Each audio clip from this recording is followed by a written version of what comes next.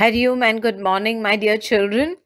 I'm happy to welcome you to the magical world of English literature. This morning, we shall analyze the concluding part of the poem, A Photograph, written by Shirley Toulson. Let's begin with lines 10 to 15 from some 20 30 years later till labored ease of loss. The poet recalls how, after 20 or 30 years later, perhaps when the mother was 30 plus of age or 40 years or so, she would have looked at the old photograph and felt amused on seeing herself and her two cousins, Betty and Dolly. She further recalls how the elders at home had taken good care to instruct them about a suitable attire or dress for their holiday visit to the beach. The tone of the poem is slowly but surely changing.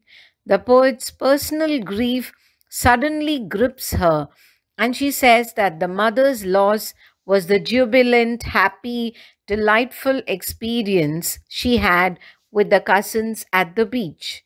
She has lost those cherishable moments of her childhood, while for the poet it's even more intense sorrow because the mother is dead now. That's indeed an irreparable loss. Both wry, both that is the loss of childhood or the beach holiday during the childhood for the mother, and the mother is dead, that's a bigger loss for the poet. Now let's look at the word wry, which is a combination of several emotions like disappointment, sadness, overwhelming grief, annoyance, displeasure, dried up emotions, and so on. With labored ease of loss, here the figure of speech or poetic device or literary device or the figurative language used is oxymoron. Now, oxymoron is used in the expression labored ease, and both contradict each other, the two words. The grief was fresh and unbearable when the poet had lost her mother. Quite naturally, she couldn't come to terms with that irreparable loss, that cruel reality, the death of her mother. She had labored hard and slowly uh, able to accept the loss. And that is what is expounded in the word ease. An oxymoron, as you understand, is the use of two words that oppose each other or contradict each other.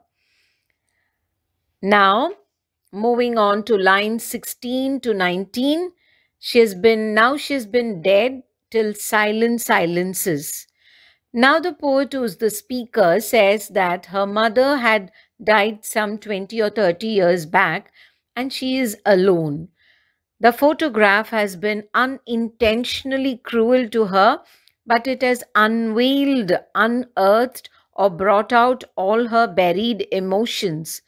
She had managed to overcome her grief, but now fresh sorrowful emotions choke her.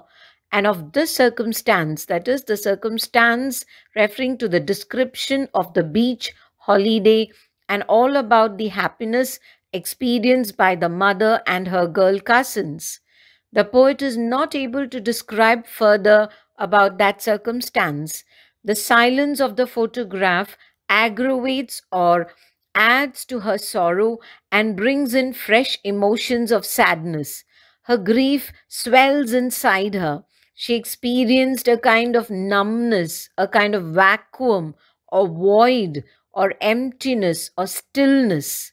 The inert or the inactive still photograph stares at her and she's overcome with grief.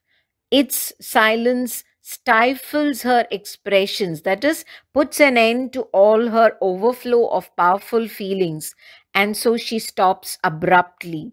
Silence silences her is, is alliterative. The alliteration of the S sound is significant here. Now let's look at some of the points to ponder over. Sweet memories bring renewed joy, while unpleasant ones submerge us in the darkness of gloom and despondency. Holidays are meant for de stressing, rejuvenating, and for enjoying our leisure time. Nothing is permanent except change.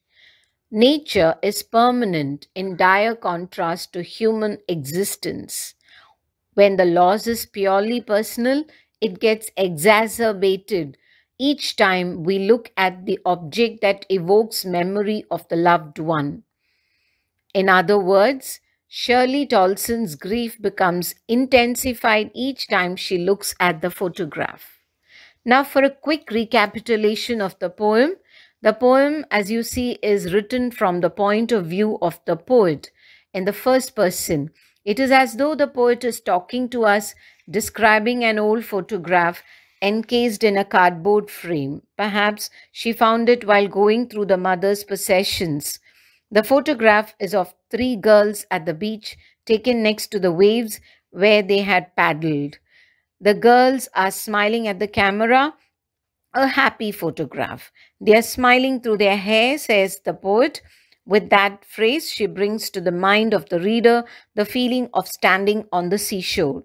The sea washes their feet, the saline breeze brushes their hair. The poet paints the picture with such reality using only a few well chosen words, so well that we feel like we too are sharing this memory with the girls. The sea, which appears to have changed less, washed their terribly transient feet. It is from this line that the mood of the poet's narration changes.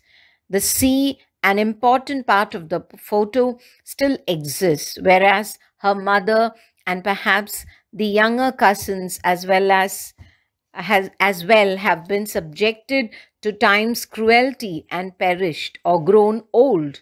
The young girls in the photo grew into different people than they were at that age. Yes, my dear children, we have now come to the end of this presentation. Hope you have a thorough understanding of the poem now. Thank you very much.